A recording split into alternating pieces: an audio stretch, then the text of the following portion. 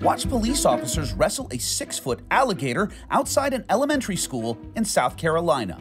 Animal control officers were called in after the large gator was spotted wandering near Daniel Island Elementary in Charleston.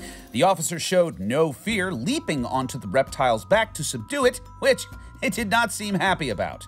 But after gaining control, they safely relocated the sharp toothed trespasser to a pond up the road. Charleston PD says during mating season, daily alligator related calls are not uncommon.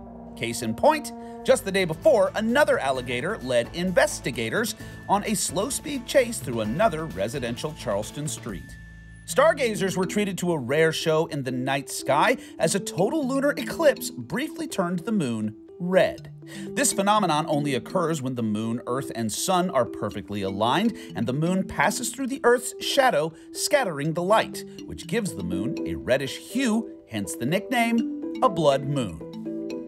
In other lunar news, University of Florida scientists pulled off a landmark first, successfully growing plants in soil collected from the moon. Lunar soil samples from four Apollo missions were used, and after 18 months of experiments, for the first time ever, plants were sprouted on Earth in soil from another celestial body. For Take a Look at This, I'm Jeremy Roth.